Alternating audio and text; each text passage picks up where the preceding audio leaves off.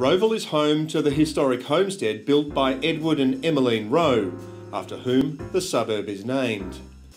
The homestead is a rare surviving example of 19th century architecture in outer metropolitan Melbourne and is preparing to welcome the public as it begins a new life as a restaurant with a focus on modern European cuisine.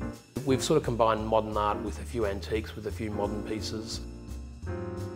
The ornate rooms and classic decor will welcome local residents and visitors from across Knox and Greater Melbourne and offer an accessible fine dining experience amid expansive gardens and a picturesque nearby wetland. You know, if you're running along the wetlands, you pop in here for a coffee in your running gear. You know, if you want to bring the kids, look at the chooks or check out the vegetable garden and have a milkshake, it is that. The cafe will open seven days and the restaurant will cater for private functions with plans for community events in the future.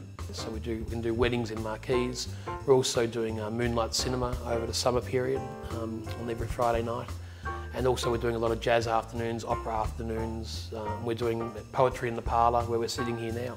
We've got a beautiful little library bar, which is a little private uh, library bar uh, that you can um, rent or hire when you know you have a dinner here. And we've also got um, one room called Little Sparrow, uh, which seats up to 12 people, a private dining room. Little Sparrow because the Rowe family bought sparrows uh, supposedly into Australia.